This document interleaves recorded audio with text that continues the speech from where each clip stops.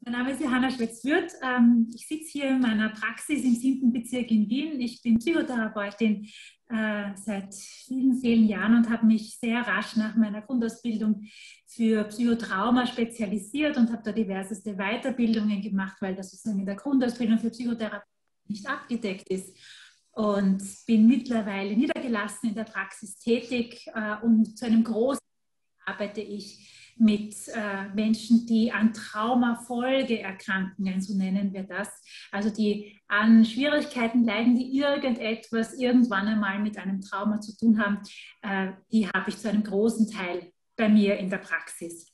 Und zum anderen bin ich Lehrtherapeutin für systemische Familientherapie, darf da auch Kolleginnen ausbilden, was mir eine große Freude ist und bin Supervisorin in der Ausbildung für neue Traumatherapeutinnen insofern und äh, unterrichte auch Trauma äh, häufig und sehr viel und vor allem auch sehr gerne, weil ich es für ein ganz ein wichtiges Thema halte und weil dadurch, dass Trauma so ein Begriff ist, der permanent irgendwie herum ist. Es ist gerade, dass ich so sage, cool, traumatisiert zu sein. Also das ist was, was man sich schnell umhängt oder das, was einem schnell zugeschrieben wird.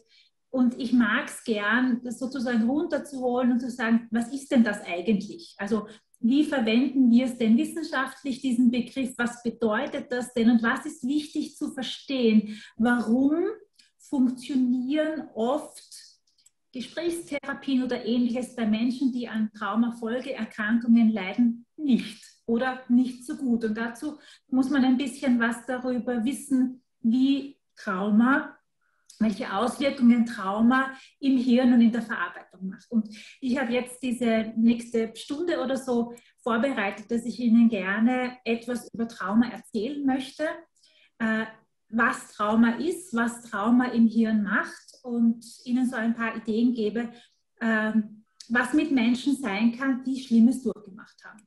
Was ist ein Trauma? Ein Trauma ist überwältigend, lebensgefährlich, über alle Maßen erschreckend. Etwas, das man eigentlich nicht verkraften kann. Und da steckt jetzt schon alles drin. Ein Erlebnis außerhalb dessen, was der Mensch sonst kennt. Verbunden mit der Überzeugung, dass man es nie verwindet. Das ist so schlimm, dass man nachher denkt, das könnte nicht passiert sein, das ist gar nicht wahr. Ähm, mit enormen seelischen und oder körperlichen Schmerzen verbunden. Etwas, das von unserem Gehirn, und das ist wichtig, aufgesplittert oder ganz verdrängt wird. Das ist sozusagen eine Beschreibung von dem, was, äh, was Trauma ist. Genauer definiert und ich mag den Schrei von Munch da sehr gerne, weil er eigentlich schon im ganzen Bild das ausdrückt. Es ist dieser namenlose Schrecken, um den es eigentlich geht, äh, der Trauma bedeutet. Was ist ein Trauma? Wenn Menschen plötzlich und unvorbereitet einer existenziellen Bedrohung ausgesetzt sind, es keine Hilfe gibt und kein Kampf und keine Flucht möglich ist. Und wichtig ist, dass existenzielle Bedrohung etwas rein Subjektives ist. Das kann für den einen Menschen ein, äh, ein, ein Autounfall sein, für den anderen Menschen kann es ein Überfall sein, für den dritten Menschen kann es ähm, eine Lawine sein, für den vierten Menschen kann es äh, der Tod eines, eines geliebten Menschen sein. Es ist ganz unterschiedlich und es ist wirklich ganz persönlich. Ähm, wichtig ist, damit sozusagen das Trauma ein Trauma ist, dass niemand in dem Moment helfen konnte und dass man vor allem nicht weggekommen ist. Weil dann, wenn es keine Hilfe gab, wenn Flucht oder Kampf, Kampf nicht möglich waren, dann passiert etwas in uns. Dann bekommen wir automatisch, ohne dass wir etwas dafür tun, massive, intensive Gefühle von Furcht, vor allem aber von Hilflosigkeit und Ohnmacht und Entsetzen. Und diese Gefühle von Furcht, Hilflosigkeit und Ohnmacht sind die, die eigentlich dann die schlimmen Folgen machen, weil wir Menschen Ohnmacht so schlecht aushalten. Das ist eigentlich das schlimmste Gefühl, das es gibt. Ähm, und was passiert ist, dass die Stresssysteme unseres Organismus, ich mache das nachher noch ein bisschen detaillierter, aber so mal so einen Überblick, die werden maximal aktiviert, damit man sozusagen aus der Situation vielleicht auch noch rauskommt kommt und dann völlig überfordert, weil man es eben nicht schafft. Das heißt, Trauma ist eine Stresserkrankung. Trauma ist eine Hochstresserkrankung und das macht es manchmal auch schon ein bisschen besser, es so zu denken. Da geht es darum, dass der Körper Hochstress hat. Und diesen Hochstress erstarrt erstmal der Körper und wird von Hormonen überflutet. Kann sich gar nicht mehr wehren, kann sich gar nicht mehr bewegen. Und die beste Möglichkeit, die die Evolution für uns bereitgestellt hat, ähm, damit man so ein schreckliches Erlebnis verkraftet, ist das, was wir in der Traumasprache Unterwerfung oder Submit nennen. Da werden nämlich die Wahrnehmungen der Gefühle des eigenen Körpers und der Außenwelt abgeschaltet. Dissoziative Reaktion nennen wir das. Das Wort Dissoziation ist Ihnen vielleicht schon mal untergekommen. Und zwar nicht bewusst, sondern unbewusst. Wir können überhaupt nichts dagegen tun. Es schaltet ab aus. Und zwar, um uns zu helfen und uns, um uns zu schützen. Ähm, das heißt aber leider auch, und das ist für später oder für mich als Therapeutin dann wichtig, dass alles, was in der Situation an Informationen da ist, sich nie zu einem Gesamtbild zusammenfügt. Da gibt es keine gesamte Erinnerung. Aha, ich bin ins Auto gestiegen, dann ist das Auto losgefahren, dann war ich auf der Autobahn, dann ist mir der Geisterfahrer entgegengekommen und dann gab es diesen Unfall und dann kam die Rettung und dann hat sie mich gerettet und war es vorbei. Dann wäre es kein Trauma, sondern ein Trauma könnte so gesplittert sein, Scheinwerfer, Sirene des Rettungswagens, Schmerz. Unzusammenhängend, überfordernd. Und das führt zu Stress und das führt zur Traumatisierung oder zu einer Traumafolgeerkrankung. Und dazu sage ich noch was. Das ist jetzt sozusagen etwas Einmaliges. Und das ist schon schlimm genug, wenn einem Menschen einmal so etwas Furchtbares passiert. Äh, und man sagt so, ungefähr ein, wenn das Trauma halb, wenn die Situation nicht zu schlimm war, soweit man es von Trauma sagen kann, äh, und der Mensch sozusagen psychisch ganz gut aufgestellt ist und so ein gutes Umfeld hat und genug Ressourcen hat, dann kann man ein Trauma durchaus selber verarbeiten. Das, die meisten Menschen schaffen das. Dauert ungefähr ein halbes Jahr. Ein halbes Jahr, in dem man immer wieder dieses Erlebnis nochmal erlebt, es nochmal wiederkommt, man schlecht schläft, äh, schlecht träumt, man sich ein bisschen wie abgeschaltet fühlt. Und dann kommt sozusagen die Normalität zurück und in ungefähr einem halben Jahr könnte man das ähm, geschafft haben oder kann das Hirn das verarbeiten. Wenn es einmal ist und nicht zu oft und vor allem nicht zu früh, aber das sage ich noch. Aber äh, womit die meisten Menschen, auch die meisten Menschen, die bei mir in der Praxis landen, zu tun haben, ist nicht, dass einmal etwas passiert ist, sondern dass sehr oft was passiert ist. Und das nennen wir eine sogenannte komplexe Traumatisierung. Das gebe ich jetzt auch noch rein. Ähm, und das sind traumatisierende Erfahrungen wie dann vor allem Gewalt, sexualisierte Gewalt oder auch Vernachlässigung, die oft, also wiederholt, die über einen längeren Zeitraum auftreten und die typischerweise von nahen Angehörigen oder Bezugspersonen begangen werden. Und das ist viel, viel, viel, viel schlechter auszuhalten und viel, viel schlechter selber zu verarbeiten. Vor allem, je, je früher es passiert, desto schlimmere Folgen zieht das nach sich. Ähm, in den nächsten drei Folien mag ich gern ein bisschen erklären, was passiert, weil das macht so klar, äh, warum, warum Trauma solche Folgen haben kann. So. Hier einmal durchgeschnitten. Ähm, und dann sehen Sie hier sozusagen, wir haben ja das, das Stammhirn, das sozusagen im Rückenmark rauskommt. Es wird auch oft das Reptilienhirn genannt, äh, der Gehirnstamm. Der ist einfach sozusagen zuständig für die Regulierung des Körpergleichgewichts, dass das Herz schlägt, dass wir atmen, dass wir verdauen, für all diese Dinge. Dann das sogenannte limbische System, das da in der Mitte liegt und so äh, ein bisschen da oben drüber über dem, über dem Hirnstamm. Und das limbische System ist ganz wichtig für die Balance zwischen innerer und äußerer Welt. Äh, hier entstehen auch Angst, hier gehört Wut hin, hier gehört unser emotionales und affektives Gedächtnis hin, das wird uns noch sehr beschäftigen. Ähm, und hier gibt es, da steht es schon, da gibt es den sogenannten Mandelkern, der wird nachher noch sehr wichtig sein, weil der wird im Trauma aktiv. Und oben drüber haben wir das Großhirn. den Neokortex und der ist sozusagen unser Tool fürs tägliche Leben, ähm, der die Signale der Außenwelt äh, analysiert und wahrnimmt und bewertet und interagiert und äh, klar nachdenkt und Strategien entwirft und ähnliches. Und in guten und normalen Zeiten ist es auch so, dass das Reptilienhirn unbehindert und unbemerkt seine Arbeit macht das limbische System und der Neokortex sich aber permanent austauschen. Gefühle und Überlegungen permanent im Austausch, tauschen Daten aus, um äh, das Leben gut zu bewerkstelligen. Und wenn das so ist, wenn da dieser Austausch zwischen unserem Gefühlshirn und dem Denkhirn sozusagen sehr verkürzt formuliert funktioniert, dann reagiert der Mensch situationsadäquat. Also ich merke, ha, das ist meine Situation, die hat diese Gefühle. Mit diesen Gefühlen mag ich jetzt das machen, das möchte ich sagen, das möchte ich tun. Und man kann sozusagen situationsadäquat agieren. Ähm, und so ist auch Lernen notwendig, denn fürs Lernen brauchen wir diese Interaktion zwischen limbischem System und Neokortex. So war es in unserem Normalzustand, in dem wir jetzt, wir alle hoffentlich gerade sind. Dann können wir Gefühle wahrnehmen, wir können sie benennen, äh, wir können was damit tun, wir können klar entscheiden, was wir jetzt machen wollen, was uns gut tut und was uns weniger gut tut. So. Ja, aber was ist jetzt denn in einer traumatischen Situation? In einer traumatischen Situation, ein bisschen eine andere Ansicht vom Hirn, da wird jetzt die Amygdala extrem wichtig. Weil bleiben wir bei meinem Autounfall, den ich vorher da genannt habe, wenn mir da dieses, äh, dieser Geisterfahrer entgegenkommt und ich merke, ich habe keine Chance mehr zum Ausweichen, dann schaltet sich blitzartig, ohne dass ich irgendwas tun kann, der Neokortex, also das, Groß, das Großhirn sozusagen, ab.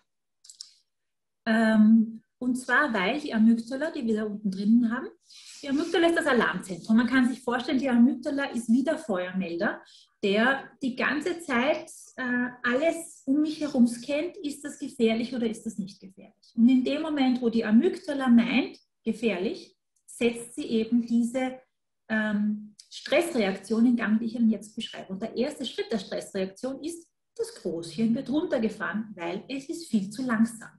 Das heißt, in der Situation, wo mir der, der Scheinwerfer gegenüber kommt, da jetzt nachzudenken, aha, was ist das für ein Auto äh, und was mache ich jetzt am besten und was wenn jetzt die Vorteile von der Strategie und was wären die Vorteile von der Strategie, dauert viel zu lang, da bin ich schon tot.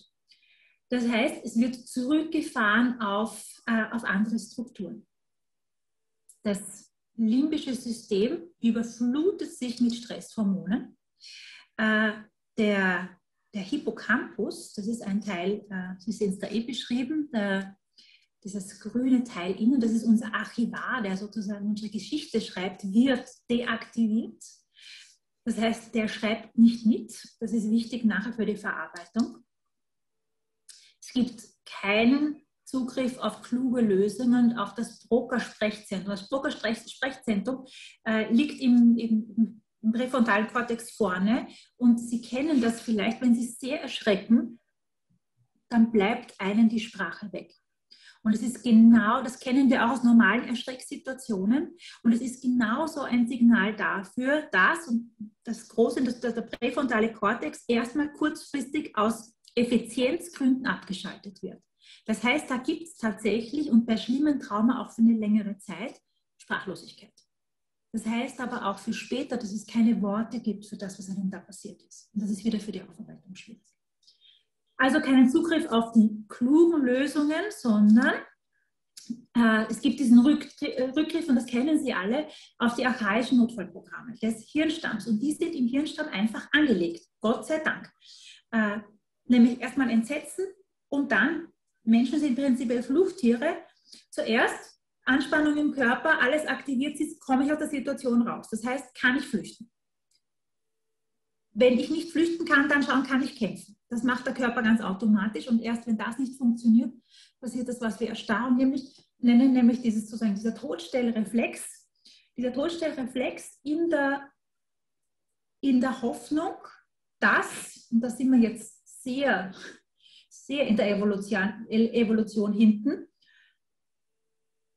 der viel zitierte Säbelzahntiger mich nicht fressen möchte, wenn ich erstarre, weil ich dann tot bin. Und, oder vielleicht merkt, ich bin tot und vielleicht seine Kinder holen geht fürs Essen. Und wenn der weg ist, habe ich meine Anspannung im Körper und ich kann losstarten und komme vielleicht doch noch weg. Und erst wenn das nicht geht, ist der letzte Schritt, der heißt Unterwerfung oder Dissoziation, wo es dann in ein, in ein Erschlaffen von allen Muskeln geht. Äh, und eigentlich, klingt jetzt furchtbar, aber so ist es, eigentlich in eine Vorbereitung aufs Sterben. Dann hat der Organismus gesagt, okay, das war's, schaltet alle, ähm, schaltet das Schmerzempfinden runter, um das ähm, aushaltbarer zu machen. Also diese Programme laufen dann, auch wenn ich im Auto sitze und auf der Autobahn unterwegs bin. Ja, die Amygdala, das habe ich eh vorher schon gesagt, die verarbeitet die ganze Zeit externe Impulse und leitet diese vegetativen Reaktionen ein. Und die Amygdala hat im Gegensatz zu unserem normalen Gedächtnis, speichert sie die Situation nur mit diesem Wahrnehmungssplitter, wie ich es vorher schon gesagt habe.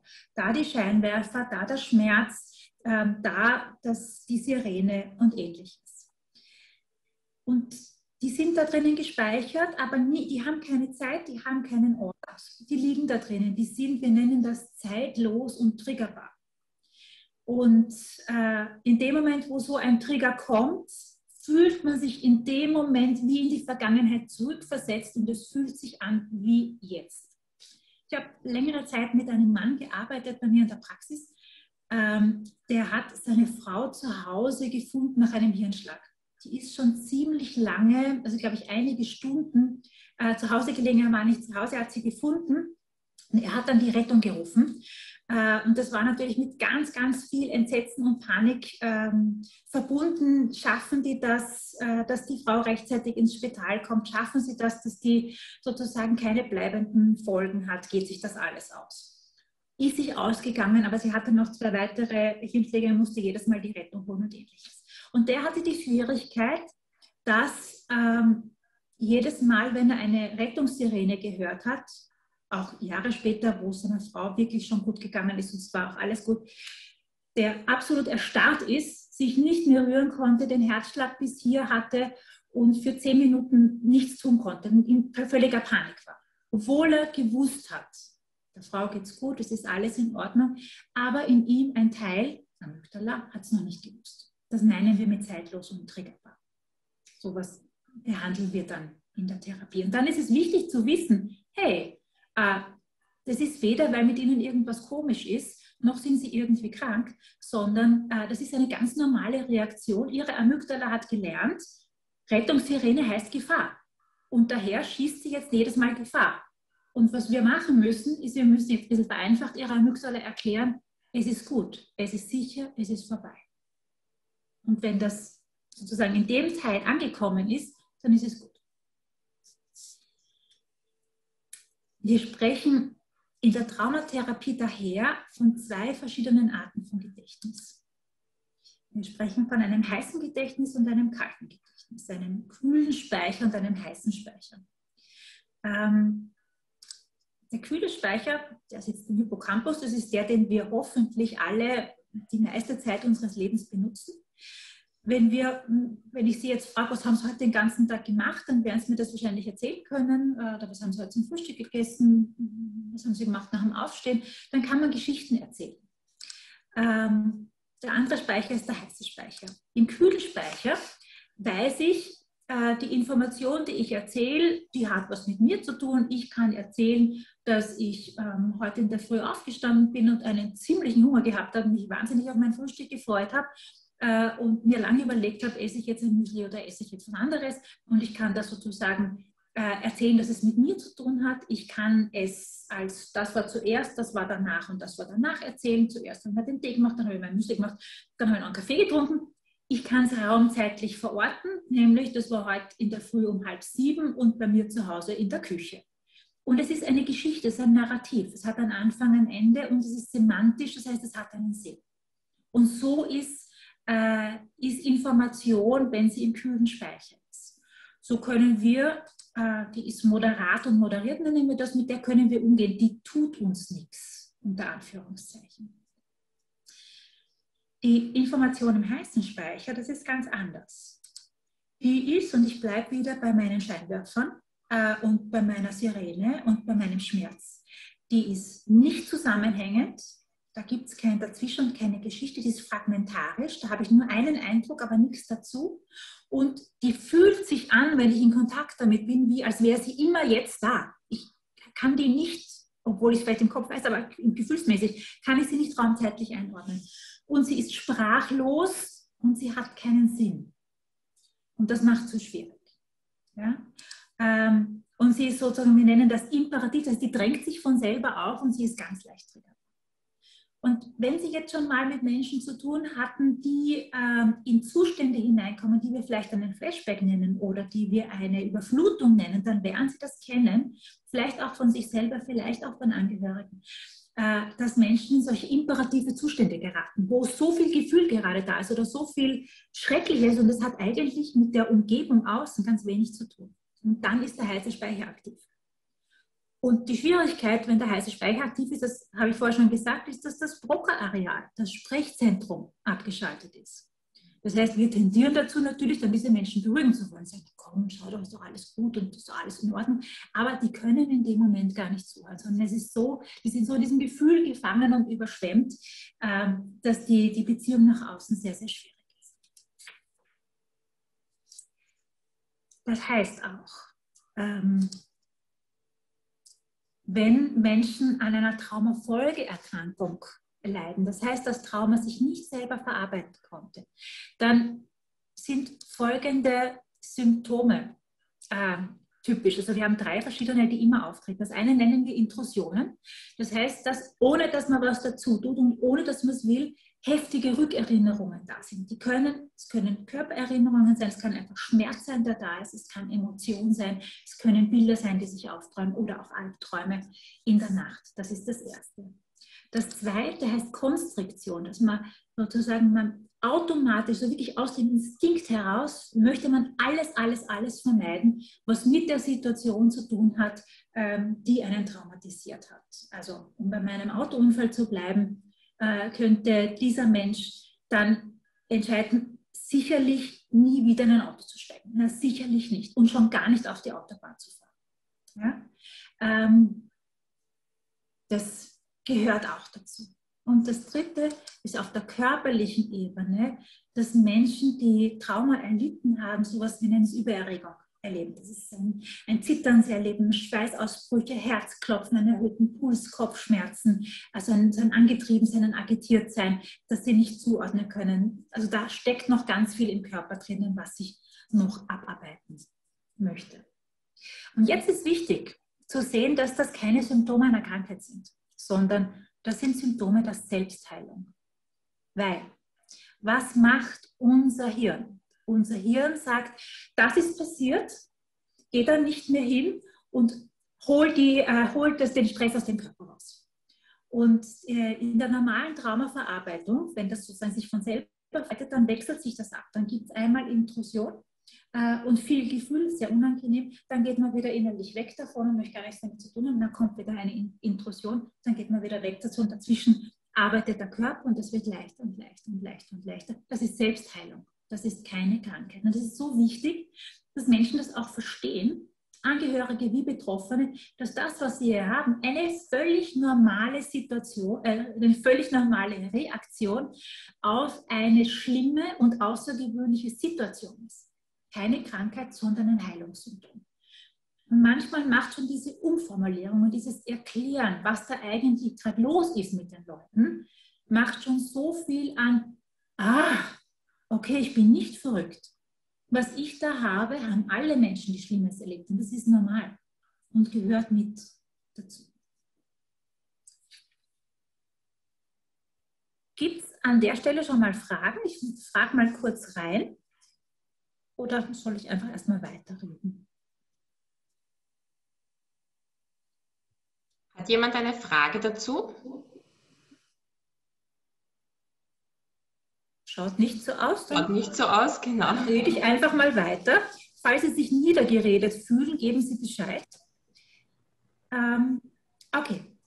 Je nachdem, wie was für eine Art von Trauma man erle Menschen erleiden, haben sie unterschiedliche Folgen. Ähm, genau, das habe ich da vergessen. Je nach Schwere des Traumas kann so die eigene Verarbeitung zwischen vier Wochen und einem halben Jahr dauern. Das habe ich vorher schon gesagt. Wir unterscheiden, oder es ist ganz sinnvoll zu unterscheiden, auch von der Tragweite dessen, was Trauma auslösen kann, kann man drei verschiedene Arten von Traumata unterscheiden. Das eine ist das, was ich am Anfang, das ist das Schocktrauma. Das ist so ein einmaliges Hochstresserlebnis. Das wäre so mein Autounfall. Äh, da gibt es eine Gefahr im Außen und es gibt einen physiologischen, psychologischen Crash. Dieses einmal Hochstresserlebnis, das in den aller, allermeisten Fällen ähm, Menschen ganz alleine verarbeiten können. Das dauert, das ist unangenehm. Meistens reicht es da zu erklären, was mit den Leuten los ist und das verarbeitet sich sozusagen die nächst schlimmere Form äh, könnte man Beziehungstrauma nennen. Und Beziehungstrauma heißt, dass es zusätzlich zu vielleicht dann nicht mehr einmaligen, sondern mehrmaligen Hochstressereignissen, dass die Traumatisierung, also das Hochstresserlebnis, äh, nicht von einem anderen Auto ausgeht oder von einer Lawine, sondern dass sie von einem Menschen ausgeht, der wichtig ist in meinem Leben, von einer Bezugsperson von einem Partner, einer Partnerin, ähm, jemand anderem. Und dass es Verbundenheit und Abhängigkeit gibt. Und wenn das zusätzlich passiert, dann kann man sich vorstellen, dass das noch auf einer ganz anderen Ebene Auswirkungen hat. Dass es nämlich was mit meiner Identität auch schon, schon tun kann. Wenn äh, der Mensch, der mir wichtig ist, mein Vater, meine Mutter, mein Partner, meine Partnerin, plötzlich äh, Dinge tut, die fürchterlich sind für mich, dann gibt es da Fragen, äh, ob das Konzept meines Lebens überhaupt richtig war, was es mit mir zu tun hat, was mit mir los ist. Hat viel schlimmere Folgen, ist auch schwieriger zu verarbeiten. Und das Schlimmste ist sozusagen Entwicklungstrauma, nennen wir das, wenn es da zu all dem zusätzlich ähm, noch ähm, die Traumatisierung von einer Bindungsperson ausgeht, also so in der Kindheit passiert, wo es auch Abhängigkeit gibt und das sehr früh passiert, weil dann, kann man sich, glaube ich, vorstellen, die Entwicklung der Persönlichkeit äh, gefährdet ist oder sich zumindest verändert. Und weil sich auch die Gehirnentwicklung verändert. Es gibt Untersuchungen, die, ähm, die, die ich ganz schlimm finde. Sie haben Kinder aus Kriegsgebieten äh, oder auch Kinder, die, die nachweislich schwer traumatisiert sind, auch durch Gewalt in der Familie. Äh, Sie haben die Gehirne dieser Kinder im, im Scan untersucht und sich die Größenverhältnisse angeschaut zu, ähm, zu Kindern, die unter normalen Verhältnissen aufwachsen. Und die Amygdalas von den Kindern, die schon viel Trauma erlebt haben, waren größer. Und der Hippocampus, der sozusagen zuständig ist für die Einordnung, für die Geschichte, der war klein. Also man sieht sogar in, auch, wie das Gehirn sich aufbaut, dass Trauma Folgen hat und daher auch, wie sich diese Kinder ganz anders entwickeln. Symptome, die habe ich eigentlich schon gesagt, die muss ich jetzt nicht mehr wiederholen. Die Erinnerungstypen gehören auch dazu, die Übererregung und der posttraumatischen Belastungsstörung. Äh, aber ich wollte Ihnen noch ein bisschen was oder etwas genauer äh, zu dem sagen, was Menschen erleiden, wenn sie komplex traumatisiert sind, das heißt, wenn sie das öfters und länger erleben weil dann gibt es eben auch Störungen im Bereich der Affekte, des Gefühls, des Selbstbilds und der Beziehungsfunktion. Das war das, was die Kollegin vorher auch gerade schon angesprochen hat. Das heißt, Menschen, die öfter und früh äh, traumatisiert worden sind, haben Schwierigkeiten, ihre Emotionen zu regulieren, erleben immer wieder emotionale Betäubung, haben äh, aber auch eine stark herabgesetzte Fähigkeit, positive Emotionen zu geben. Also wirklich Schwierigkeiten, gute, stabile Gefühle zu haben und nicht im Negativen überholt zu werden. Menschen, die früh und viel Schlimmes erleben mussten, ähm, entwickeln ein negatives Selbstkonzept. Die entwickeln Überzeugungen, dass sie nichts wert sind, äh, dass sie minderwertig sind, dass sie eh ungeliebt sind, dass sie eh zu nichts gebrauchen sind. Und da gibt es so ein ganz ein tiefgreifendes und andauerndes Gefühl von Schuld und Scham, das sich so ganz selbstverständlich anfühlt, weil diese Menschen oft mit diesen Gefühlen schon, schon groß wurden und sich gar nicht erinnern können, dass sie mal anders über sich gedacht haben. Ähm, und, das hat die Kollegin vorher angesprochen, äh, Menschen, die früh und vor allem lang und, und öfters traumatisiert worden sind, haben anhaltende Schwierigkeiten, emotionale Beziehungen aufrechtzuerhalten. Und sie tendieren eher dazu, Beziehungen und soziale, soziale Interaktionen zu vermeiden, weil es sicherer ist, wenn ich nicht mit Menschen zusammen bin. Was ich Ihnen nämlich gerne erzählen möchte oder was, was mir sehr geholfen hat, um das klar zu kriegen, ist, was unterschiedliche Arten von Traumatisierung machen. Und da gibt es dieses Bild des Baums, das mir sehr gut gefällt. Und wenn Sie sich vorstellen, so einen großen Baum, äh, und da passiert, und Sie sehen im zweiten Kastel, äh, sozusagen eine Linie von 0 bis 99, also Geburt bis sozusagen Tod. Und der schwarze Punkt bedeutet, da ist einmal was passiert. Da ist einmal was Traumatisches passiert. Und wenn einmal was Traumatisches passiert ist, kann man sich das im Bild des Baumes so vorstellen, wie wenn ein großer Ast abgehackt wird. Und ich finde, das macht es dann ganz klar, weil ein großer Baum, dem auch wenn es ein großer Ast ist, der abgehackt wird, der fällt nicht um, sondern der steht weiterhin, der hat seine Wurzeln, äh, der hat einen dicken Stamm, der hat, andere, der hat andere Zweige, die da sind, der kompensiert das problemlos oder relativ problemlos, dass ihm da ein, äh, ein Ast abgehackt worden ist. Und in Form von, hier drüben sehen Sie, in Form von den Netzwerken, könnte man sagen, ähm, da gibt es die oberen, sind sozusagen die die, die Ressourcennetzwerke, da gibt es ganz viele Erinnerungen oder, oder Ideen von, von Kraft und Beziehung. Da gibt es viele Menschen, die gut tun. Äh, da ist viel an Ressource da. Und dann passiert einmal was Schlimmes und das kann man, das ist das untere Smiley, das Ding nach unten. Dann gibt es ein ganz ein kleines Traumanetzwerk. Sie können sich, das sieht man schon, irgendwie, das ist gut alleine zu bewältigen oder braucht nicht viel Unterstützung, um sowas gut bewältigen zu können. Wir nennen das ein Monotrauma. So, und wenn jetzt aber öfter was passiert, aber vielleicht unterschiedliches. Ähm, dann, wo ist mein? Da ist es. Dann ist vielleicht einmal ein Autounfall passiert, dann ist ein anderes Mal, äh, ich habe ein schlimmes Erlebnis, musste man ins Krankenhaus und war länger dort als Kind. Oder äh, man hat eine schlimme Ehekrise gehabt. Oder es sind unterschiedliche Dinge passiert, die aber nichts miteinander zu tun haben. Nennen, nennen wir ein Multitraum dann kann man sich das schon wieder so vorstellen, als wären von diesem großen Baum drei Zweige abgehackt oder mehrere, dann hat der Baum immer noch gute Wurzeln und immer noch ein, zwei, drei funktionierende, starke Zweige, aber es ist schon beträchtlich was weg. Trotzdem steht der Baum noch.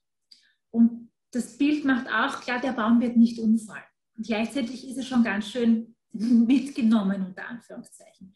Wir haben immer noch ein recht großes Ressourcennetzwerk im Hirn, wo wir viel zurückgreifen können in der Beratung, äh, im Gespräch mit Freundinnen. Da ist viel da, äh, natürlich auch in der Therapie. Aber es gibt schon mehrere sozusagen Problemnetzwerke, die, die da sind und die einschränkend sein können.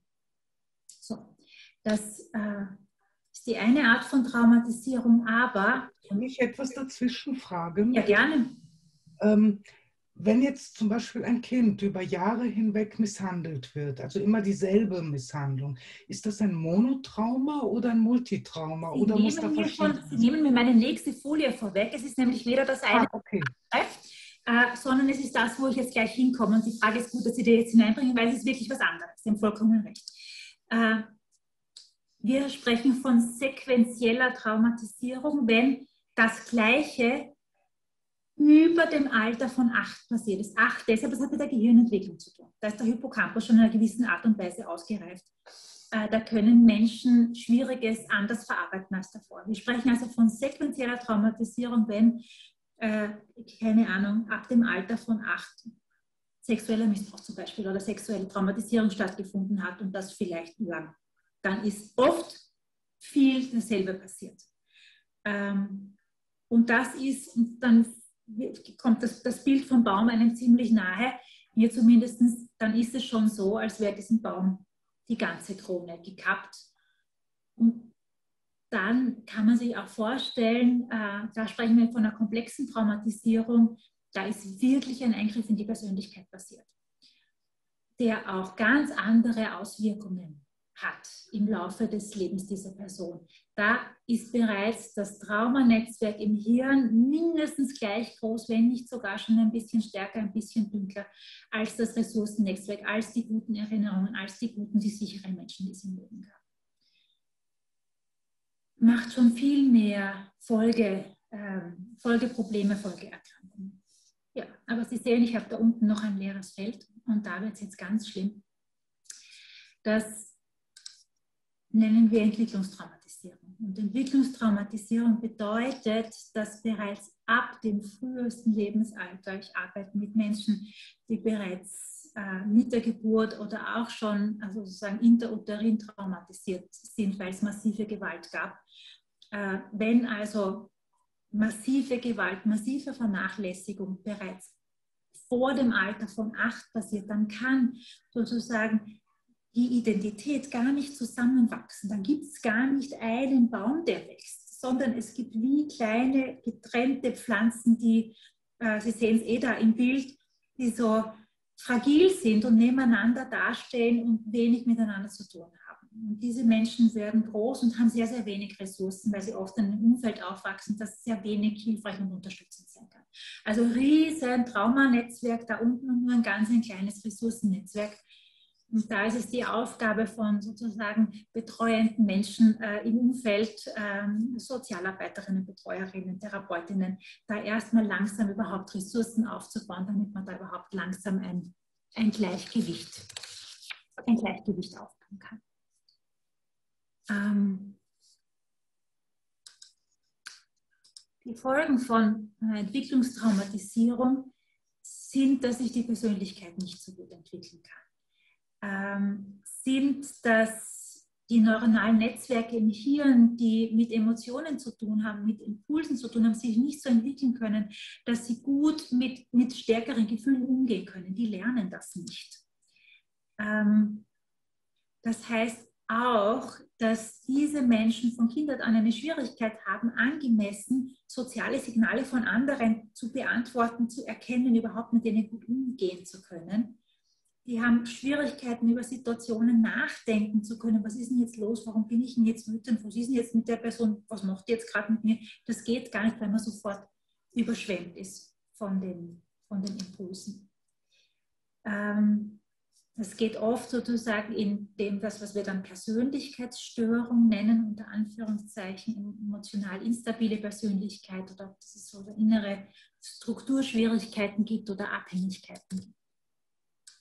Das heißt auch, dass das, was sozusagen in der Krankheitslehre Persönlichkeitsstörung nennt, äh, genannt wird, dass da oft auch Bindungstraumatisierung eine Rolle spielt. Das heißt, Traumatisierungen wie frühe Vernachlässigung, Verwahrlosung, körperliche, seelische und oder vor allem sexualisierte Gewalt äh, erklären mehr als 80 Prozent der Persönlichkeitsstörungen wie emotional instabile Persönlichkeitsstörungen, abhängige, selbstunsichere, narzisstische, äh, paranoide und auch die soziale. Da ist immer ganz viel, ganz viel Trauma drinnen. So, wann kann man also oder wann muss man damit rechnen, dass ein Trauma nicht gut selbst verarbeitet werden kann, sondern dass es wirklich langfristige Schwierigkeiten macht oder diese Menschen langfristig beeinflusst. Das hat mit der Zeit und der Häufigkeit zu tun, wenn es, das Schlimme, und das kann jetzt Verwahrlässigung, äh, Gewalt nicht gesehen werden. Wenn das lange andauert, wenn es wiederholt vorkommt, und vor allem, wenn es unkontrolliert und plötzlich vorkommt, dann sind die Folgen, die langfristigen Folgen viel schlimm. Vor allem, wenn es in den ersten zehn Lebensjahren passiert. Wichtig sind die Umstände der Traumatisierung. Traumatisierungen, die mit physischer und vor allem sexualisierter Gewalt zu tun haben, die, wo mehrere Täter, Täterinnen beteiligt sind, die vielleicht auch noch sadistische Folter beinhaltet und vor allem die sozusagen in einem sicheren Familienumfeld, scheinbar sicheren Familienumfeld passiert, macht natürlich viel schlimmere Folgen, weil es gibt keinen Platz mehr, wo es sicher ist. Da kann, können sich Kinder, Jugendliche äh, nicht mehr gut entwickeln. Wichtig sind auch System- und Sozialfaktoren. Ähm, wir entwickeln alle schlimmere Traumafolgen, wenn wir alleingelassen werden. Also wenn das Opfer allein ist, wenn es mit niemandem sprechen kann, ähm, Besonders schlimm ist, wenn es den Täter eigentlich mochte, wenn es die Tat nicht erwartet hat ähm, und vor allem auch, wenn sie bagatellisiert wird von anderen. Und Sie merken schon, wenn Sie es umdrehen, dann sind das die Faktoren, die helfen können, nämlich Menschen nicht alleine lassen, mit ihnen sprechen, ihnen glauben, äh, für sie da sein, es ernst nehmen. Dann ist das schon das Gegengewicht, das es braucht und das auch jeder leisten kann. Und dann gibt es natürlich individuelle Faktoren. Wenn die Persönlichkeit noch nicht gefestigt ist, wenn es starke Dissoziation gegeben hat während der Tat, das bedeutet, dass die Tat so schlimm war, dass die Psyche wirklich abgespalten ist und mal wie weg war. Wir kennen diese Erzählungen, wie ich bin über der Situation geschwebt und habe es nur mal von oben gesehen. Das wäre so ein Zeichen von starker Dissoziation. Oder auch von, äh, ich habe den Täter gesehen und dann war gar nichts mehr und aufgewacht bin ich dann vier Stunden später, keine Ahnung, was dazwischen war. Und wenn sich das Opfer mitschuldig fühlt an der ganzen Sache. Ähm, ja. Was sind die stärksten schwierig äh, Risikofaktoren? Das haben wir schon gesagt, die Schwere des Traumas, die mangelnde Unterstützung, frühere belastende Kindheitserfahrungen. Also je stabiler äh, jemand ist, dem später was Schlimmes passiert, desto eher wird er das selber gut verarbeiten können, wenn man selber schon sozusagen Schwierigkeiten hatte in seinem Aufwachsen dann, und nachher passiert was Schlimmes im Erwachsenenalter, dann macht das viel schlimmere Folgen. Sexualisierte Gewalt macht fast die schlimmsten Folgen, sowohl bei Männern als auch bei Frauen. Schlimm finde ich geringe Intelligenz und Bildung. Es ist nicht, also ich denke immer darüber nach, warum das wohl so ist und ich glaube, es hängt damit zusammen, äh, dass, dass Menschen sozusagen, und da glaube ich, der niedrige Status kommt jetzt eh auch gleich, dass Menschen aus, mit, mit geringerer Bildung sich weniger Hilfssysteme zur Verfügung haben, weniger Unterstützung haben ähm, und daher auch weniger Verständnis und weniger aufgehoben sind mit dem und manchmal auch in Umfeldern leben, wo, äh, wo Gewalt manchmal auch noch sozusagen zur Tagesordnung gehört.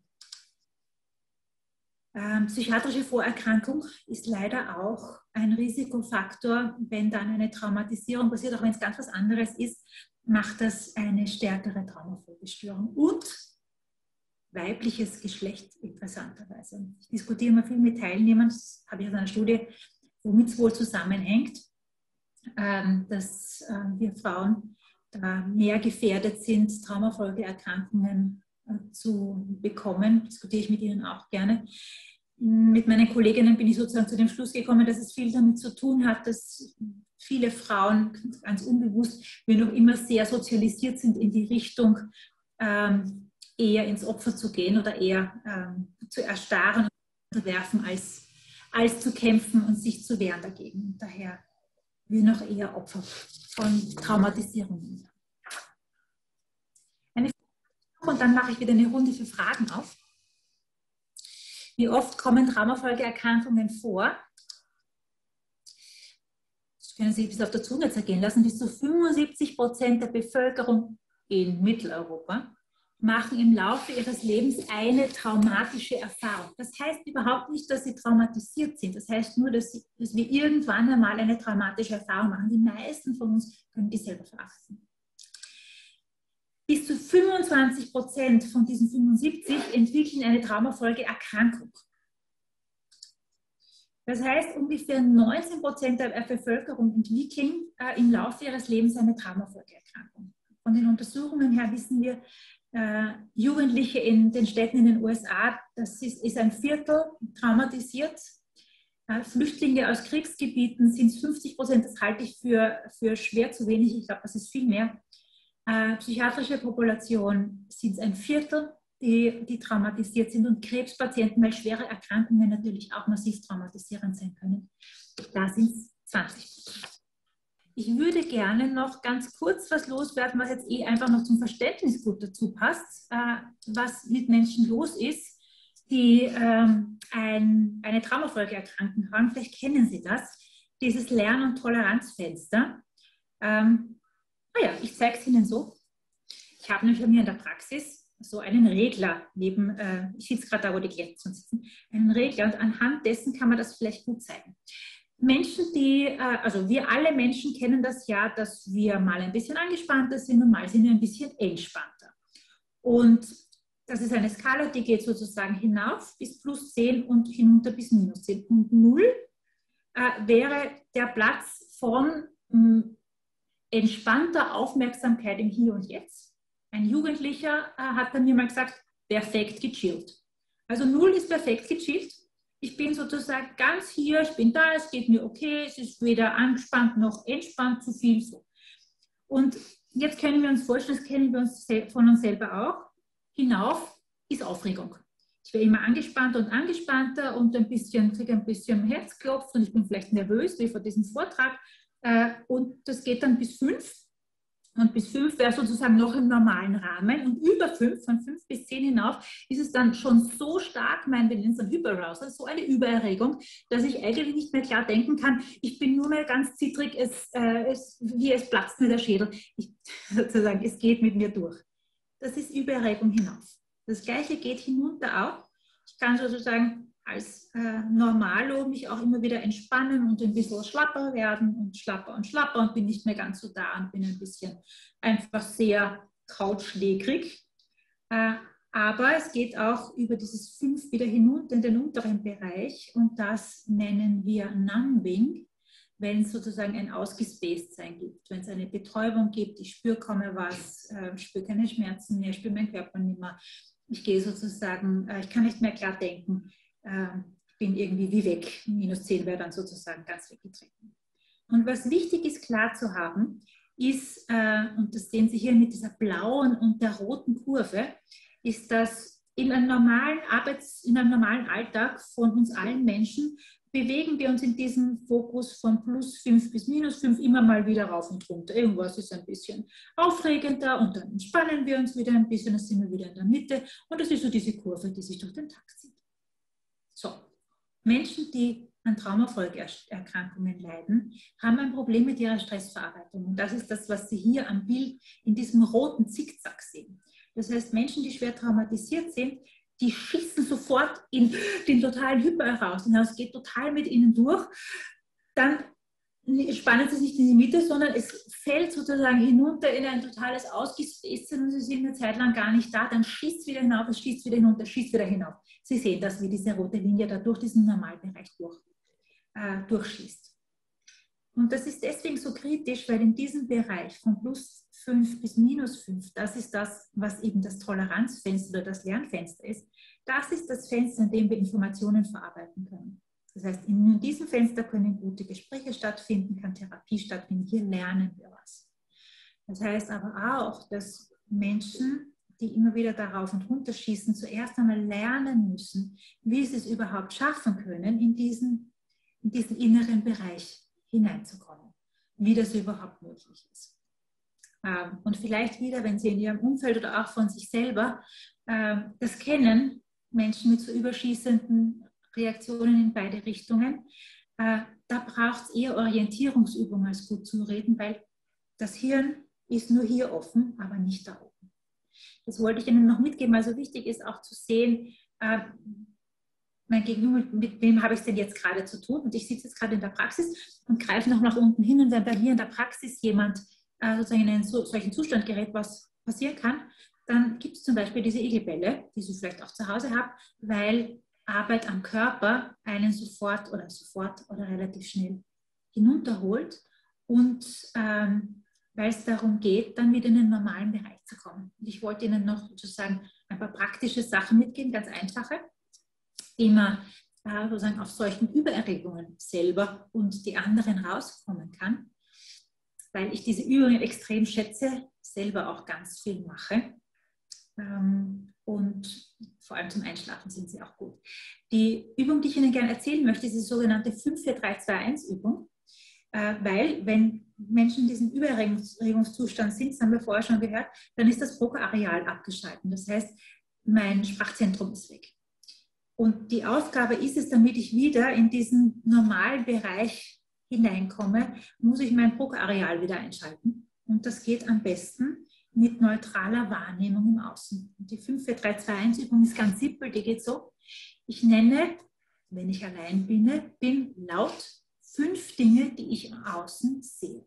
Also, und zwar im ganzen Satz, das ist wichtig, das braucht das Probeareal. Also ich würde jetzt sagen, ich sehe einen silbernen Laptop. Erster Satz. Zweiter Satz wäre, ich sehe meine weißen ausgedruckten Unterlagen vor dem Laptop stehen. Dritter Satz wäre, ich sehe ein halbes Glas Wasser auf meinem weißen Tischchen stehen. Das wären drei Sätze. Ich würde dann fünf brauchen. Und wenn ich selber sehr erregt bin, weil ich vielleicht eine schlimme Stunde gehabt habe, weil ich mit einer Klientin beschäftigt bin oder sonst ein Thema habe, dann fallen mir die Worte nicht ein. Dann möchte ich sagen, ähm, ich sitze auf einer schlammfarbenen Couch und dann fällt mir das Wort Couch nicht ein. Und dann ist schon klar, aha, mein Broca-Areal braucht noch ein bisschen, bis es wieder einschaltet. Fünf Dinge, die man sieht. Dann fünf Dinge, die man hört. Und Sie werden, wenn Sie jetzt mal bei sich zu Hause probieren, ins Hören gehen, dann muss man die Aufmerksamkeit in den Hörbereich stellen. Und das ist schon ein bisschen schwieriger als das Sehen. Und ich höre bei mir draußen gerade einen Motorradfahrer vorbei fahren und ich höre den Computer rauschen. Fünf Dinge. Wieder den ganzen, den ganzen Satz. Und dann fünf Dinge, die man am Körper spürt. In dem Fall bitte keine Gefühle, sondern tatsächlich Körperempfindungen, wie ich spüre den Igelball in meiner Hand. Ähm, ich spüre die Fußsohle am Boden stehen. Fünf Dinge. Dann zurück zum Start. Vier Dinge, die ich sehe, vier Dinge, die ich höre, vier Dinge, die ich am Körper wahrnehme. Dann drei, dann zwei, dann eins. Wenn es geht, andere. Beim Hören geht es oft nicht. Ähm, und wenn man das übt und öfter macht, wird man bemerken, dass man durch diese Übung in eine Art neutrale Wahrnehmung kommt. Man kommt so in einem, es geht dann nachher nicht wunderbar gut, aber man kommt so ein bisschen in einen neutraleren Zustand. Wenn Sie das kennen, so wie ich, dass man um vier in der Nacht aufwacht und äh, irgendwie da drinnen kreiselt ein Gedanke oder ein Gefühl oder es kommt Angst oder irgendwas anderes, darf ich Ihnen diese Übung bitte wärmstens ans Herz legen, weil Sie werden ganz genau wissen, wie Ihr Schlafzimmer ausschaut, auch mit geschlossenen Augen oder in finsteren Schlafzimmern können Sie die Sehenübung, den Sehenteil auch mit geschlossenen Augen machen und formulieren die Sätze, ohne sie auszusprechen, aber als ein Ganzer im Kopf. Ich schlafe meistens bei drei. Ich mache das gerne und viel und finde es sehr hilfreich. Das ist eine Möglichkeit, aus solchen überschießenden Impulsen rauszukommen.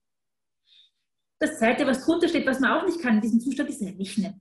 Ähm, und, ähm, und daher ist Rechnen, so Dokus sind auch ganz wunderbar, ist Rechnen eine gute Möglichkeit, um wieder sozusagen ein bisschen in die Aufmerksamkeit im Hier und Jetzt zu kommen.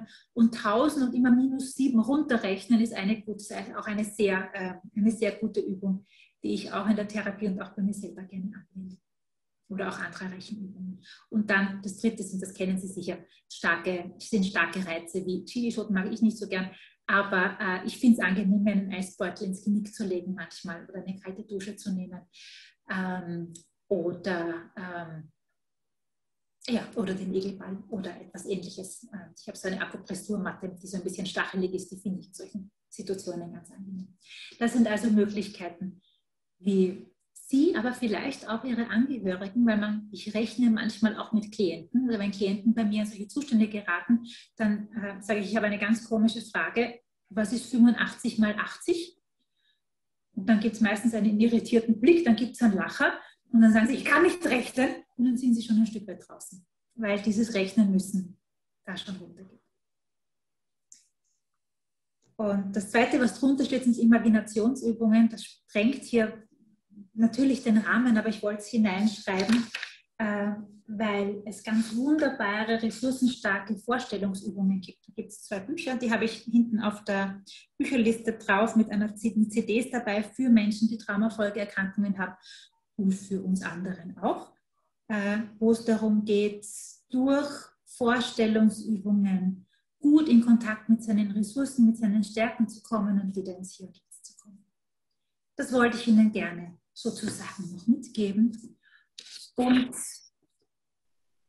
was ich jetzt noch dazu stellen möchte, weil ich das so wichtig finde, ist das hier, was nämlich zur Stabilisierung beiträgt, was so wichtig ist den Menschen, ganz egal wann sie Trauma erlebt haben, was die brauchen oder was ihnen hilft, um wieder stabiler im Alltag zu sein. Weil Stabilisierung im Außen hängt auch immer mit der psychischen Stabilisierung innen zusammen. Das heißt, das Wichtigste ist im Außen ein soziales Netz. Dass es Freunde gibt, dass es Familie gibt, die ein Verständnis haben, die glauben, die da sind, die unterstützen, aber auch, dass es Institutionen gibt, die da sind, Beratungsstellen, Frauenhäuser, psychosozialer Dienst, dass Schule, Heime, Gerichte, Polizei auch sozusagen traumasensibel äh, hinschauen und unterstützen und da sind. Das fällt alles unter soziales Netz. Das, was noch ganz wichtig ist für die Stabilisierung, ist die sogenannte äußere Sicherheit. Menschen, die zum Beispiel Opfer von Gewalt geworden sind, vor allem auch von Gewalt in nahen Beziehungen, da ist die Frage, gibt es noch einen Täterkontakt? Also gibt es noch, ist der Mensch, der die Traumatisierung durchgeführt hat, ist der noch im näheren Umfeld da? Weil wenn der noch da ist, dann kann keine Stabilität passieren. Ähm, das heißt, es muss wirklich sichergestellt sein, dass es da keinen Kontakt mehr gibt. Aber auch Gibt es eine Krankenversicherung? Gibt es eine gute medizinische Versorgung? Äh, hat der Mensch sozusagen ein Einkommen? Kann der sein Leben finanzieren? Auch das ist total wichtig, wenn es um Trauma geht, dass das im Außen einfach klar ist und geregelt ist. Weil wenn es im Außen nicht sicher ist, kann man sich nicht mit der Psyche im Inneren beschäftigen. Das ist ganz nachvollziehbar eigentlich. Und das Dritte ist aber auch die gesellschaftliche Haltung. Wie, wie gehen wir in der Gesellschaft mit Menschen um, die nicht so funktionieren, wie sie funktionieren sollen. Während die, äh, während die angenommen wird, jetzt in meinem Fall, wird Trauma als etwas gesehen, das passiert, für das die Menschen keine Schuld haben, äh, wo sie mit den Folgen kämpfen, wo sie unterstützt werden müssen, oder wird mit Finger auf sie gezeigt und sagt, na, du hast sicher was falsch gemacht, hat was mit dir zu tun. Das ist natürlich destabilisierend. Und auf der psychischen Seite also sagen, das, was jetzt so ein bisschen in meinen Bereich fällt, im therapeutischen Bereich, was tut man hier für die Stabilisierung? Wir machen ganz viel Psychoedukation und Normalisierung, nennen wir das. Das, was ich mit Ihnen heute gemacht habe. Ich erzähle, ich rede mir den Mund fusselig in Therapien, weil ich möchte, dass Menschen verstehen. Ich möchte, dass Menschen verstehen, was, äh, was mit ihnen los ist, dass, äh, was für Reaktionen sie ihnen haben, wozu die gut und wichtig sind und wie sie damit umgehen können. Also sozusagen erklären ist eine der wichtigsten Funktionen für psychische Stabilisierung. Eine andere ist das, wo ich Ihnen jetzt einen ganz kleinen Ausschnitt gezeigt habe, sind stabilisierende Übungen. Das heißt, Menschen zu ermöglichen, selber, nicht nur in der Therapie, sondern selber zu Hause für sich Möglichkeiten zu entwickeln, wie ich mich selber in sozusagen den Zustand in der Mitte hineinbringen kann, wie ich das in mir entwickeln kann. Dann, wir haben vorher schon über die therapeutische Beziehung geredet, das, was auf der psychischen Ebene so wichtig ist, dass es nicht nur in der Therapie, aber da vor allem auch, dass es sichere Beziehungen gibt. Und das Letzte ist die Auseinandersetzung mit dem Trauma. Also ich komme nicht umhin, äh, wenn Traumatisierung geheilt werden soll, unter Anführungszeichen bitte, dass auch zum geeigneten Zeitpunkt, wenn es Außensicherheit gibt und wenn es innen ein bisschen stabiler ist, es auch zu einer Auseinandersetzung mit dem kommt, was da passiert ist und was ich erleben musste, was diesen wahnsinnigen Stress in mir ausgelöst hat. Ähm, weil im Prozess der Traumabewältigung, und das jetzt nur noch sozusagen ganz kurz gegen Ende, äh, geht es darum, dass Dinge wieder zusammengeführt werden. Ich habe ganz am Anfang gesagt, dass Traumatisierung bedeutet, dass was aufgesplittert wird. Und das heißt, im Prozess der Traumabewältigung, wenn man im Zuge einer Therapie zum Beispiel wirklich in das Trauma dann hineingeht, dann geht es darum, die Bilder, die da sind, die Gedanken, die Selbstüberzeugungen, die dazu entstanden sind, ich bin nichts wert, ich bin schuld oder ähnliches, äh, die Gefühle, die da sind und das Körperleben, da, das da ist, sozusagen zu einer Synthese zusammenzubringen, zu einem gemeinsamen Ganzen, aus dieser Zersplitterung eins zu machen. Etwas aus dem heißen Gedächtnis, wenn Sie sich erinnern, ins kühle Gedächtnis zu bringen. Also am Ende einer, äh, einer guten Traumaintegration äh, steht etwas, äh, steht eine innere Überzeugung von, ja, das ist wirklich passiert, das habe ich mir nicht nur eingebildet, das war wirklich Realisation.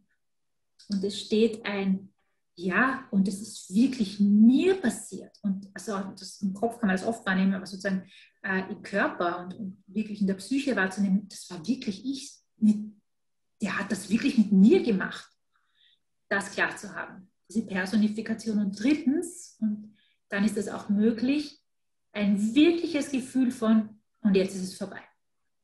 Und wenn diese drei Dinge geschafft sind, dann ist das Trauma bewältigt. Und das versuchen wir mit allem, was uns zur Verfügung steht, äh, zu schaffen mit den, mit den Klientinnen. Einerseits in der Therapie, aber andererseits auch in, äh, in den Einrichtungen, in den WGs, äh, überall, wo Menschen mit, äh, mit Traumafolgeerkrankungen leben, tun, sind, wird an diesen Dingen gearbeitet.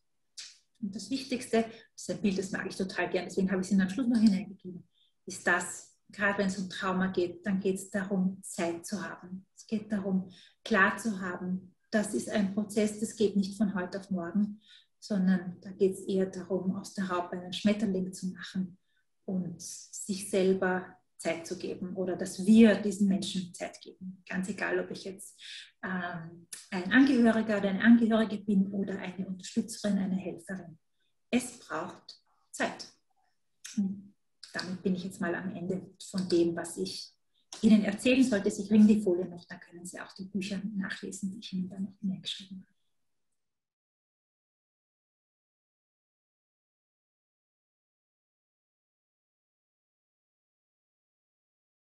Was wichtig ist äh, im Trauma, und der Kollege hat das jetzt, glaube ich, gut beschrieben äh, bei, dem, bei, dem, bei diesem Mann, ist, da, erlebt, da erleben wir Schlimmes, heißes Gedächtnis. Und daneben gibt es Gott sei Dank einen funktionierenden Teil, der irgendwie den Alltag hinkriegt. So, und wenn da der Teil von mir ist, der den Alltag hinkriegt, halbwegs schlecht, und dann gibt es da diesen, diesen heißen, der vielleicht in den Albträumen hochkommt oder zwischendurch mich über dann ist sozusagen dass der gesunde Teil, genau, dann ist der gesunde Teil, sagt natürlich, da soll ich hingehen, seid ihr wahnsinnig, ich muss doch hier meinen Alltag beschäftigen, das soll bitte weg. Ja? Sozusagen, liebe Helfer, Leute, ganz egal welcher Profession, tut das weg. Entweder gibt es mir Medikamente, dass ich das nicht spüren muss, tut das, das irgendwie anders, da will ich nicht hin. So, nachvollziehbar weil man muss ja den Alltag schaffen. Ähm, und dann zu verstehen, dass das hier dadurch größer wird, wenn ich es wegtue oder es macht einfach Symptome auf der körperlichen Ebene oder wo auch immer, äh, dass das sozusagen diese Abspaltung dazugehört, dass aber Heilung, schwieriges Wort an der Stelle, immer bedeuten muss, ich muss da hinschauen, ganz langsam sonst funktioniert es nicht. Und dann braucht es da die Bereitschaft, aber auch sozusagen das Umfeld dazu, um das tun zu können. Wir tendieren dazu, äh, uns unbewusst Ähnliches zu wiederholen, wie uns widerfahren ist. Das heißt, ja, äh, es kann durchaus sein, dass Menschen, die früh in nahen Beziehungen Schlimmes erlebt haben, dass die sich nachher aus gutem Grund schwer tun, äh, in Partner, Partnerinnen zu finden, äh, wo es gut funktioniert oder wo man überhaupt was Vertrauensvolles aufbauen kann. Ähm, weil sie sich einerseits manchmal als Partnerinnen suchen, die ihnen wieder nicht gut tun, oder weil sie sich so viel Nähe wünschen, aber wenn die Nähe da ist, dann macht das total Angst. Also ja, Beziehungsschwierigkeiten gehören, gehören dazu. Natürlich kann das sein, aber es muss nicht sein. Also das okay. gibt einen Rückschluss mhm. machen. Äh, es kann sein, es ist eine Hypothese.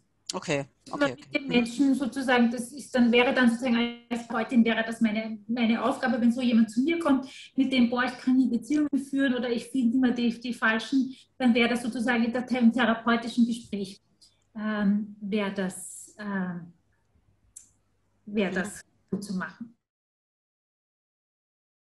Angsterkrankungen, äh, Suchterkrankungen, äh, depressive Erkrankungen, hängen oft, aber nicht immer mit traumatischen Erlebnissen zusammen. Das muss man sich ganz genau anschauen. Aber es ist gut möglich. Es ist ganz oft so, dass nach schwierigen äh, traumatischen Erlebnissen man sozusagen keine PTBS entwickelt, sondern eine schwere Depression oder eine Angsterkrankung. Das ist ganz häufig so.